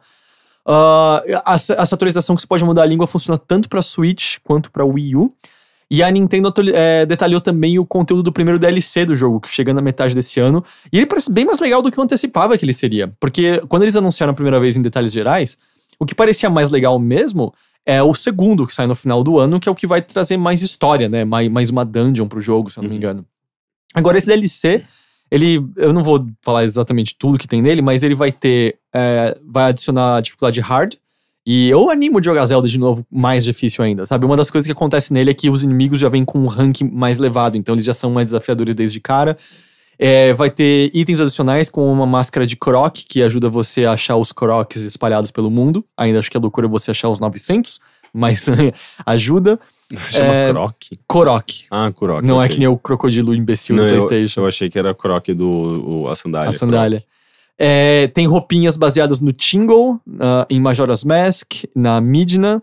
Então a gente pode realizar o sonho de se vestir como Tingle agora. Ah, mas tinha aquele jogo do Tingle que já realizou todos os meus sonhos em. Aquele de. DS? É, que você tinha que. colet- Você tinha que juntar dinheiro, né? Sim. Era bonitinho aquele jogo. Eu, eu achava que nem tinha saído nos Estados Unidos esse jogo, saiu? É, eu, eu joguei em emulador. Ah, É a única maneira de você jogar ele. Porque ele não é um-. Parte de um minigame do Wind Waker? É? Ou ele é um negócio separado em Não, si? ele é um jogo É. separado. O único jogo. É um jogo individual do, do Tingle. Entendi. Ah, tem essas roupas, é, tem uma dungeon, que é daquelas de você passar por vários desafios é, de batalha, sabe? Você começa sem roupa, sem armadura, sem arma. É, quer dizer, roupa e armadura é a mesma coisa. Você começa sem armadura e sem arma, tem que passar por uma quantidade enorme de salas desafiando inimigos, e se você termina, acontece um lance especial com a sua com a Master Sword. Ela se torna mais poderosa por conta de um, de um lance lá. Tem, tem outros itens espalhados pelo mundo secretos. Tinha um, tem um específico que eu não tô conseguindo me lembrar mas ele era útil. Tem um negócio que vai deixar você criar um novo ponto de teleporte no mapa, ah, etc, etc. Então tem bastante coisa, mas assim, lembrando, né? É, custa 20 dólares o pacote que já são os dois DLCs. Não tem como comprar separadamente cada um deles. Eles só vão, só não vai estar disponível tudo no meio do ano agora. Um vai estar só no final. E ainda sobre a Nintendo, isso aqui eu realmente não esperava, ela anunciou um novo modelo 2DS.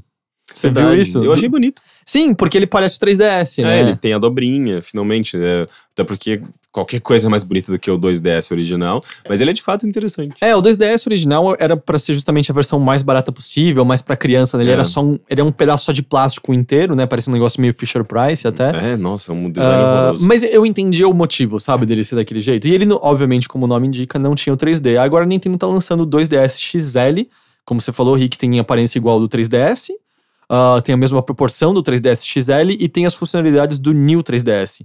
Então ele já, já vem com suporte a, a NFC. Eu achei legal, eu quase acho que ela tinha que ter lançado isso há mais tempo, sabe? Sim, até porque é um o, o 3D em si é Eu um nunca recurso que as ligo. pessoas já deixaram de ligar. eu né, esqueço de- que ele tinha 3D completamente, assim, eu não ligo aquele negócio nunca, nunca, nunca. Ele era interessante, eu acho que na época do lançamento, mas é, as pessoas já não ligam mais pra isso. Eu acho que o jogo que melhor utilizou foi o. Luigi's Mansion. Ah, é verdade, Luigi's Mansion usou bem Usa também. bem. Eu tava pensando no Mario 3D Land, Mario 3D Land. que tem É. alguns desafios específicos que é dos cubos em diferentes posições e é só com 3D que você enxerga Uhum. e tal. Ao mesmo, ao mesmo tempo você exclui quem não tem capacidade de enxergar 3D, É. né, direito. Mas é, ele vai. Ah, é, ele vem com cabo de força, né? Que o Neo 3DS não vinha com. Nossa, né? bizarro.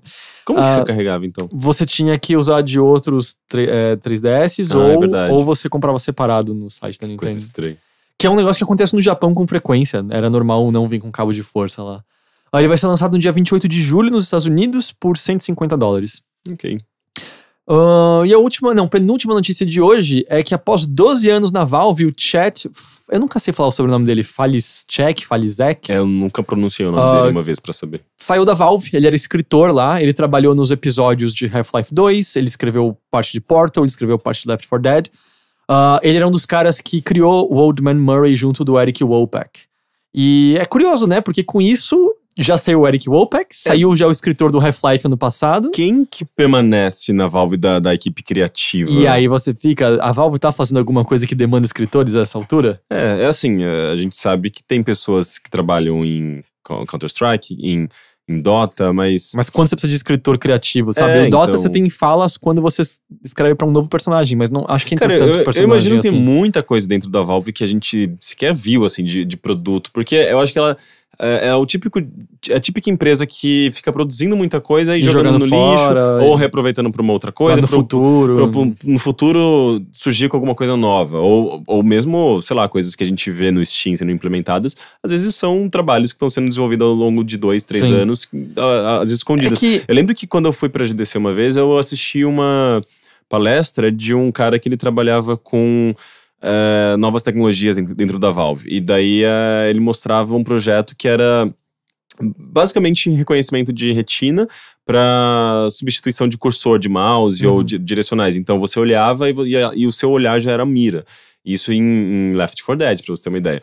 E a gente nunca viu isso ser ele implementado. vai saber se na realidade virtual vai ser implementado eventualmente. É, quem sabe, mas, é, ou seja, o que, o que eu consigo entender com isso é que eles estão sempre desenvolvendo alguma coisa. É, Tem, sei lá, psicólogos trabalhando É, na mas a Valve, gente não tem- sabe se eles estão desenvolvendo coisas que precisam de escritores criativos, sabe? Que... E é curioso, assim, porque esses nomes que a gente tá citando, o charme que eles colocam no texto deles é um negócio que eu vim associar muito fortemente com os jogos da Valve, sabe? É Uhum. o charme das piadas de Portal, é justamente aquele humor que tá no Left 4 Dead.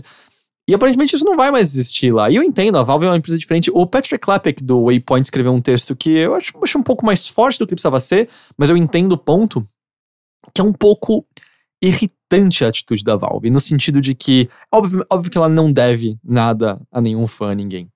Mas lance que as pessoas gostam muito dos jogos dela. Por mais que a piada do Half-Life 3 tenha ficado mais do que batida e chata essa altura, e eu achar realmente que nunca vai haver Half-Life 3, é, eu acho que isso diz sobre o quanto que as pessoas gostam desses personagens, gostam dessas franquias. E a maneira como eles tratam é quase como se nós fôssemos chatos por querermos que ela faça jogos como ela fez no passado que eram incríveis. Entende o que eu quero dizer? E É. esse silêncio sepulcral dela, por mais que eu entenda que existe uma razão de negócios por trás, parece às vezes quase um descaso com todo mundo, de certa maneira, eu sabe? entendo, mas ao mesmo tempo eu acho necessário, porque normalmente é o contrário, normalmente as empresas passam a mão, falam assim, ah, não tem problema, a gente vai fazer a continuação sim. Eu sei que vocês querem, a gente quer ganhar dinheiro, então a gente vai- fazer a continuação. Hum. E eu acho bom a Valve ser justamente a empresa que não vai ouvir necessariamente os fãs, porque ela faz o que ela quer, e eu acho. eh, e ela pode, né? Ela pode se dar o luxo de simplesmente não queremos ganhar o seu dinheiro, porque a gente já tá ganhando muito aqui. Mas é que, É, que- e, e, de certa forma eu acho. É, é- é meio que uma, é, é o inverso do que é, do que é norma no, né, no meio dos videogames, que é, ah, tá rolando dinheiro, tem público, então vai ter continuação. Não, tudo bem, mas assim, sei lá. A Valve também só vai fazer um, um jogo se ela perceber que tem dinheiro na continuação, sabe? Ela não vai fazer de caridade o negócio. Mas meu ponto é mais assim, questão de ter uma declaração mais oficial sobre, ou então, da maneira como a gente conhecia, Half-Life nunca mais vai acontecer, a gente não sabe se um dia ele vai acontecer futuramente.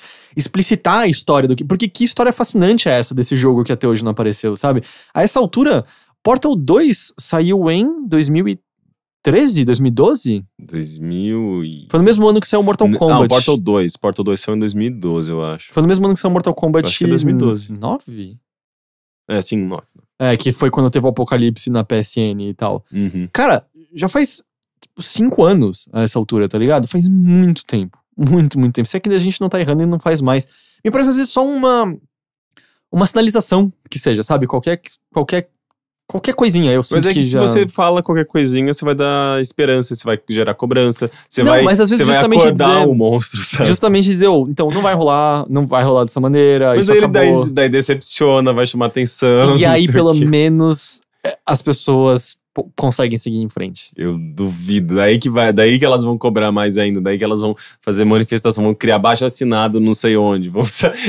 eu, eu entendo, acho que o posicionamento da Valve ainda mais lidando com o público de games, que sei, é muito cara. apaixonado. Eu sinto que Half-Life 3 hoje em dia é como uma figura religiosa, em que E vai. e- a crença só pode ser perpetuada porque a gente nunca viu o cadáver, Então, sabe? mas exatamente por isso que eu acho que é tão fascinante. Tipo, é, é, se, se existe alguma coisa de concreto, seja positivo ou negativo, é, é, essa, é, essa, esse, mito vai meio que se desfazendo, sabe? E eu, eu acho que talvez tenha até um lado intencional da Valve tentar manter as coisas suspensas, porque você continua mantendo. as pessoas não, não sabem o que está acontecendo, existe tipo um- um um mistério no ar e esse mistério potencializa, sei lá, o, a, a nossa relação com a empresa, sabe? Tipo, de. Cara, a Valve é uma empresa estranha, né? Ela tem uns jogos maravilhosos e ao mesmo tempo ela desaparece, tipo, não faz mais jogo, e ela tem um jogo que a gente não sabe se está sendo desenvolvido ou não. Ela tem essa plataforma que é muito boa, mas tem umas lacunas muito óbvias. E... Eu, eu, e de certa forma, acho que tudo isso compõe a Valve uma, como uma empresa muito bizarra e muito bem sucedida, sabe? É, e ela sendo a única empresa que tem a capacidade de fazer isso, sabe? De, de agir dessa maneira que ela tá agindo. Eu, de certa forma, eu concordo com ela. Bom, é só a última coisa que o chat Falis, Falizek, Falizek, ele era um dos mais dos maiores apreciadores da realidade virtual como um todo. Assim, ele é um grande eva- eva- evangelizador, falando bastante sobre as capacidades narrativas mesmo que a realidade virtual como um todo podia oferecer. Então, tipo, vamos ver o que ele vai fazer em seguida. E por último, eu não cheguei a ler nada sobre, eu só vi as chamadas, então se puder me falar, Rick. Darksiders 3 foi anunciado? Eu vi que foi primeiro Foi vazado pela a Amazon. Amazon vazou a- as informações e logo em seguida a THQ Nord, Nordic eh, fez a confirmação, já tem página no Steam, foi anunciada para 2018 para PC, Xbox One e PlayStation 4. E hum, protagonista meio feia, né? É, eu achei o design parece, sei lá, é, Todd McFarlane de 95, assim. É, ela é, é- é- Não sei, assim, foi um design meio padrão pra personagens, justamente Todd É, exato, McFarlane. Parece feminina. Image Comics meio dos anos 90. O que, É. pra ser justo, o Darksiders puxava já. Eu já isso, né? puxava, né? Mas é, não sei, assim, tipo, ela usa um saltão bizarrão com. Tem Ela é aquele qual? cab- Ela é. É a Fúria. Fúria? Tem, tem esse cavaleiro? Ela é a. Eu também não sabia, Peraí, mas ela é morte. Guerra do primeiro, morte do segundo. Uhum. Quais são os outros dois cavaleiros? Tem Peste, São Pestilência. quantos cavaleiros? Quatro. Quatro. Quatro cavaleiros do Apocalipse. Então. Morte, é a Fúria. Guerra, Pestilência, tem Fúria? Deve ser. ok. É, e, e pelo que eu entendo, se passa é, simultaneamente ao, ao Darksiders 2. Até porque no Darksiders 2 eu acho que a- o protagonista está preso e no, no trailer aparece ela O- interagindo com ele. Ah, é? Porque assim, o primeiro, você é o Guerra. Você É acorda no Apocalipse. É, esse é o Rodrigo Guerra, que, que trabalha no- na ESPN hoje em dia. É curioso, assim, como ele conseguiu esse papel no jogo. Uhum. Mas controla o Rodrigo Guerra. E, e você acorda no Apocalipse, mas começa a perceber que tinha algo de errado, porque o Apocalipse estava acontecendo mais cedo do que era pra acontecer. E aí você é culpado pelo Apocalipse ter dado errado, por esse erro, e você é aprisionado durante muito tempo, sendo libertado depois, e é quando o jogo se passa de fato com tipo, a Terra já tendo sido devastada sei lá quanto tempo. Aí o 2, eu acho que se passa antes da aventura principal do primeiro. Ah, é, então é isso. É verdade. E, e, e no caso, então, se passa no mesmo tempo do 2. Mas é isso, as informações. eh, Tem um- algum- algumas imagens do jogo, parece continuar o mesmo estilo. E hack ia falar, slash, meio Então, é porque Zelda. o primeiro era mais Zelda, o segundo era meio Diablo. Não, o segundo é totalmente Zelda também. Mas o segundo tem coisa de loot, você fica alimentando uma arma ah, na sim, outra. ele tem. e- Mas é, ele tem uns, uns elementos a mais de RPG, mas continua sendo um. Um jogo que envolve exploração, você Ó. tem uma abertura, um mundo aberto para você explorar de acordo com as habilidades que você possui. De acordo com a Wikipedia é, em português, os quatro cavaleiros são personagens escritos na terceira visão profética do apóstolo João, no livro bíblico de Revelação ou Apocalipse. Os quatro cavaleiros do Apocalipse são peste, guerra, fome e morte. Ah, então a Então, Fúria, ela a tá. Fúria- Ela invadiu, ela tá se passando pela, por um deles, ela é uma intrusa, mas é a Fúria. Eu- eu- e pelo que eu tinha visto, ela era um dos cavaleiros da. É, não, é, deve, talvez seja alguma outra interpretação, interpretação que você pode ter. É, queria, de- porque, mas tipo, desde o início a gente está vendo é, que não é necessariamente a fome, mas fome seria muito bom, né? Qual é o seu fiel. poder dos inimigos? Ah, eu preciso almoçar. Mas, sei lá, eu gosto desses jogos. Eu gosto mais do primeiro do que do segundo. Eu, eu, não, eu não gosto muito da estética deles. Eu detesto essa estética World of Warcraft. Hum. E Eu- heavy eu- metal, sabe? Entendo. É muito metaleiro pro Eu, gosto. eu continuo defendendo que o Darksiders, o primeiro, é o melhor Zelda da geração passada. Ah, consoles. Uma pessoa me apontou no Twitter, mas e o Link Between Worlds? É- E é verdade, Link Between Worlds é, é melhor. Mas é, tipo, ele é melhor do que qualquer Zelda de console da geração passada. Hum. É, que também teve o que? Skyward Sword e. Ah, dá pra dizer que Twilight Princess é meio que, que da geração passada também. Saiu pra Wii também. É, eu acho que ele tá num limbo. É, ele saiu pro. Sei lá, enfim, também que importa. Mas, ah, da hora. E não tem data nem nada do tipo. 2018. Ah, 2018? Ah, não. Então, daqui até que em breve. Da hora. Eu achava que essa é uma. que nunca ia voltar essa franquia, também, sinceramente. também achava. E é interessante porque a empresa que tá desenvolvendo a Gun, Gun.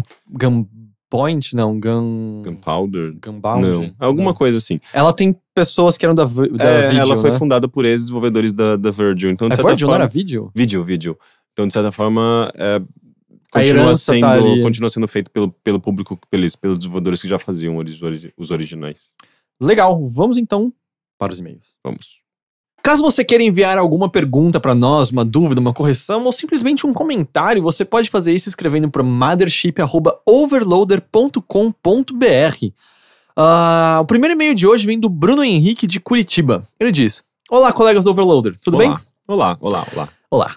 No episódio passado, quando vocês comentaram de Sonic Forces, houve uma reclamação incomum de vocês sobre estarem colocando a Green Hill Zone de novo em mais um jogo. Eu também concordo que já deu de Green Hill, mas acontece que essa aparentemente não é exatamente a Green Hill, ou pelo menos não do jeito que a gente conhece. Pam, pam, pam. Isso já foi confirmado pelo diretor do jogo, Takashi Izuka, e é perceptível se você olhar os detalhes da fase na demonstração de gameplay. Tem umas coisas de areia, umas areias, é, umas cachoeiras de areia. Parece meio estranho. O que se teoriza é que Sonic Forces terá algum tipo de mescla de zonas nas fases, como se tivesse um outro problema no espaço-tempo, ou qualquer outra desculpa que a Sonic Team der para a história dessa vez. Só que agora mais grave. Se você observar o primeiro trailer de gameplay do jogo, aquele com Sonic moderno, você percebe que a fase começa com uma Windmill Isle do Sonic Unleashed toda destruída. E logo antes do trailer acabar, em uma cena onde Sonic é jogado para o céu, dá para ver ao longe pedaços da fase que se parecem muito mais com o estilo de arte antigo da série do que com o moderno. Além de que, no próprio segundo trailer citado no programa, tem algumas diferenças bem, bem visíveis dela para Green Hill padrão. Então acho que é cedo para ficar puto contra Green Hill, porque o resultado final pode não ser o que a gente espera. No mais, sou ouvinte recente de vocês. Esse é meu primeiro e-mail pro programa e desejo tudo de bom para todos daqui pra frente. Ah, que legal. Muito obrigado. Mas, mas, é, legal que ele notou isso. Porque, de fato, assim, eu percebi que tinha. que era uma Green Hill é, alternativa, mas eu achei que era simplesmente uma. uma- um- umas brincadeiras que eles estavam fazendo com a versão clássica da Green Hill, assim como o Sonic Mania fez, né? Tipo, de ter uma área subterrânea. né? Começa parecido, mas de repente você vê que tem umas mudanças.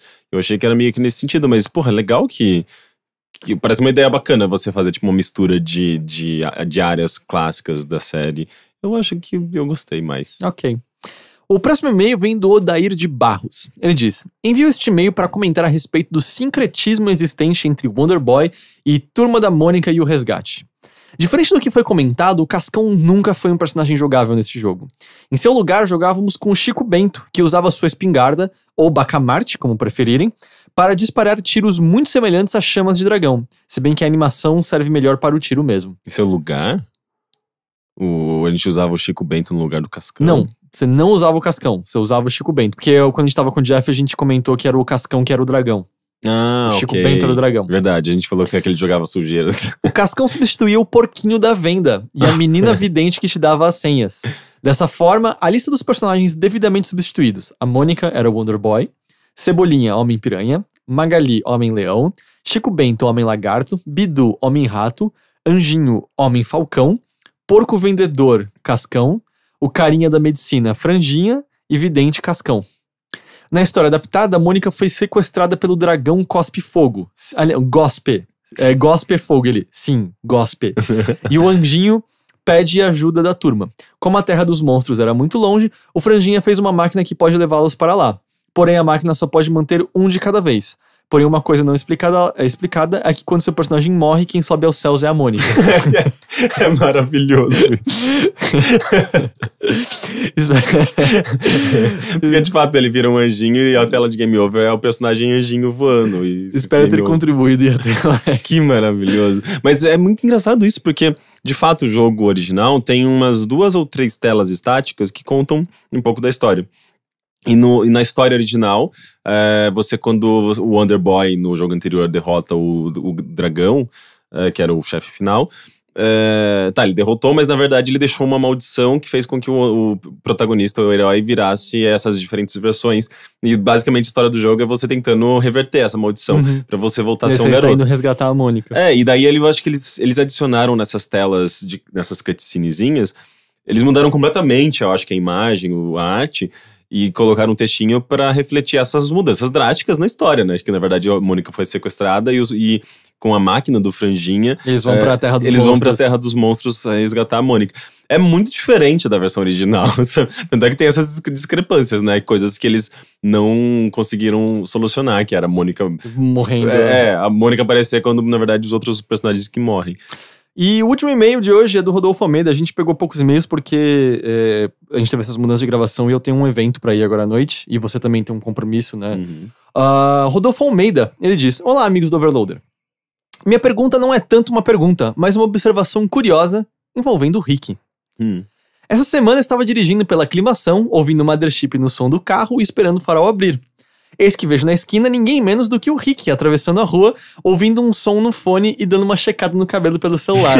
Saindo de casa correndo, certeza. que coisa, não? Era justamente ele quem tava falando no som do carro na hora. E por um instante pensei em baixar os vídeos, colocar o som do talo e gritar Rick. Mas pensei que não é legal ser um psicopata na rua e que ouvir sua própria voz ecoando de outro lugar pode ser traumatizante. Acho que seria uma experiência muito bizarra. É estranho alguém. É, né? Ouvindo alguém me ouvir Sim. é, seria muito esquisito. Fica aqui essa anedota e a pergunta: já tiveram experiências parecidas com isso? De encontrar alguém ou alguma figura pública de que estava falando há pouco ou escutando, etc? Eu não tenho nenhuma experiência assim. Não sei, eu acho que não. Pra mim acontece com uma frequência justamente alguém eh, me identificar enquanto está ouvindo o podcast, enquanto está me ouvindo falar no podcast. E é sempre muito engraçado, é meio, é meio, meio, meio, meio bizarro. Acho que porque assim, eu encontrei o professor Pasquale no metrô há pouco tempo, mas eu não tava ouvindo ele no rádio. Uhum. Eu já encontrei o Padre Quevedo uma vez no metrô, mas o programa dele eu já tinha, sei lá, acho que já tinha acabado há 10 anos essa altura. E. Não sei, acabou. É, não, eu já encontrei pe- pessoa- personalidades assim que eu acompanho às vezes no YouTube, no, no Twitter, mas não justamente de estar ouvindo podcast, Sim. até porque eu não tenho o costume de ouvir muito podcast, então não, mas é, é curioso isso. Mas fica então a anedota do Henrique penteando o cabelo olhando o celular na rua. então é isso. É, essa foi o episódio de hoje. Eu não sei se ele foi mais enxuto no fim das contas ou não. Mas é semana que vem.